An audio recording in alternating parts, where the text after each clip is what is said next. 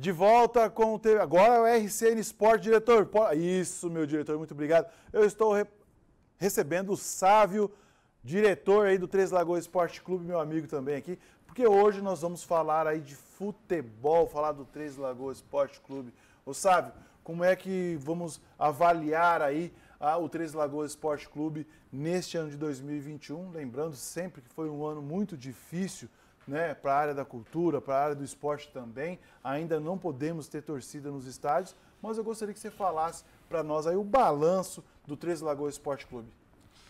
Bom, é um prazer estar aqui novamente nessa casa aqui que eu me sinto sempre à vontade, né? A gente é sempre bem recebido.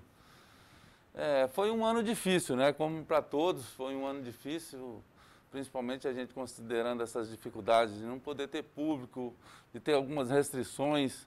Né? Nós tivemos um ano que, além de tudo, em função dessa pandemia, já vim de um ano atrás, do ano passado, né?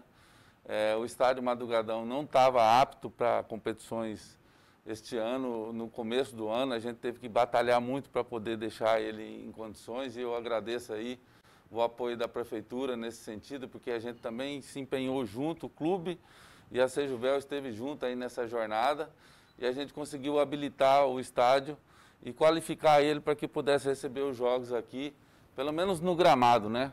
O público ainda não estava em condições de, de receber, até porque as leis não permitiam, mas a gente deixou o estádio, graças a esse apoio, em condições da gente realizar as competições que a gente disputou.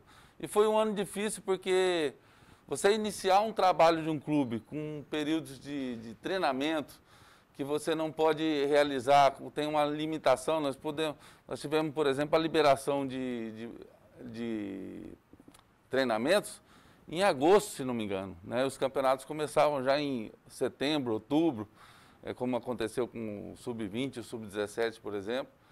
Então a gente teve um ano muito difícil. A gente, alguns treinos foram feitos em Andradina, que tinha um campo lá que estava sendo autorizado.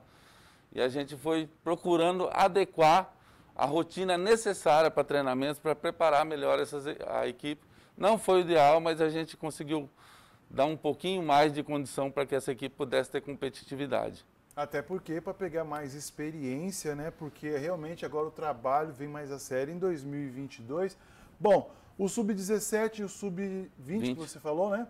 Sub-18 e o sub-20, na verdade, tiveram participando das competições e o profissional também não estava inscrito no estadual. O profissional participou no primeiro semestre, em fevereiro, foi aquele período que a gente estava numa crise alta na, na pandemia aqui, inclusive teve três jogos que foram adiados aqui em Três Lagoas, foram, aí foram protelados, e a gente teve que realizar, né, num momento que a gente estava justamente precisando de resultados, a gente teve que parar os treinamentos por 10 dias e realizar três jogos em cinco dias. E em seguida nós viajamos para Campo Grande para realizar, depois desses cinco dias, mais três ou quatro dias, realizar mais dois jogos em Campo Grande. Então, foi quando o profissional participou. Difícil mesmo, né? É, e só complementando, Israel, desculpa te interromper, é, nós fizemos um trabalho assim, que foi. Nós mesmos nos fizemos autocrítica com relação a isso. Eu acho que precisava ter tido um planejamento melhor.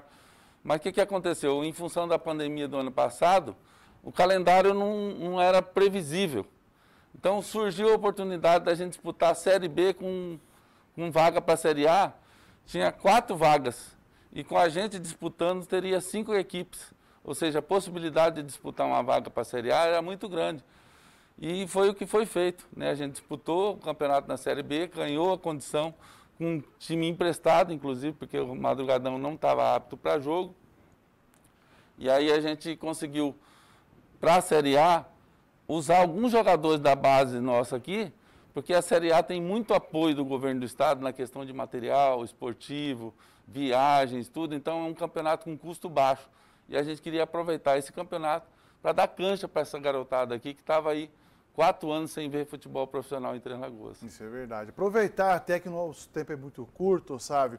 Mas vamos falar de coisa boa, né? Já falamos aí das dificuldades que o time teve. Eu convido você, meu amigo, que gosta de futebol, muita gente fica perguntando, e o misto, e o misto? O misto teve as suas glórias, mas é passado. A partir de agora é Três Lagoas Esporte Clube e a gente tem que apoiar o time da nossa cidade. Vamos falar do técnico do pastor Renato, que eu gosto muito do trabalho que ele vem fazendo com essa garotada. E também nós tivemos aí uma revelação que inclusive já está jogando no Criciúma. Que você falasse aí dessas duas pessoas que fazem, que um fez parte do Três Lagoas e o outro ainda está no comando. Pois é, é uma, obrigado pela oportunidade aí. É, o pastor Renato já está se tornando conhecido aqui pelo trabalho dele. A gente percebeu isso. Eu, na verdade, quando eu conheci o pastor Renato, eu estava envolvido mais com a questão do estádio. Eu não estava tão inserido na questão da formação de equipe, desse preparativo, que eu fui é, acionado pela Federação de Futebol na época para cuidar da questão do estádio.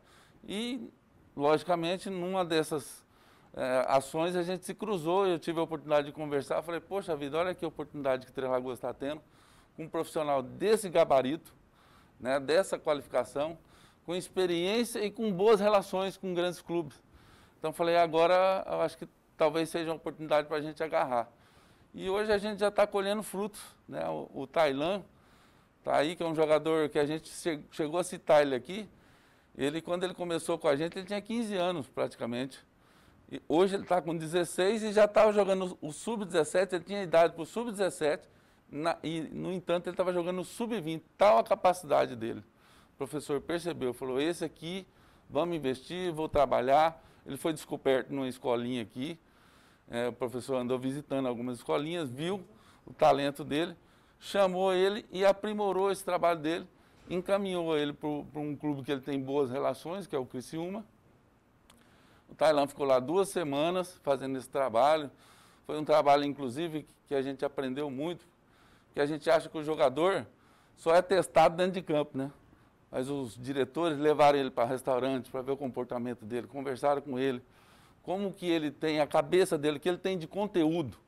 Isso é muito importante para que os jogadores daqui saibam que não é só jogar bola, precisa também ter uma boa cabeça, né, mentalidade cultural e, tá, e de responsabilidade principalmente. É isso mesmo. E principalmente quando entrar em campo, parar de ficar fazendo fitagem aí, que vocês não é, não é nem estrela eu vejo muito jogador que está começando, já quer fazer estrela e põe mão e finge que está machucado. É, verdade. Mas enfim, vida longa ao Três Lagoas Esporte Clube. Eu já assumi a minha torcida para esse time aqui na nossa cidade. Convido você também a torcer aí para essa camisa do Três Lagoas Esporte Clube.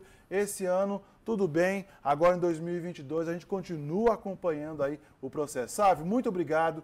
Valeu, feliz Natal, meu amigo, um ótimo ano novo, um Feliz Natal para todo o elenco do Três Lagoas Esporte Clube. Espero em breve poder estar tá noticiando aí outros jogadores que vão ter vida longa aí, brilhar fora de Três Lagoas.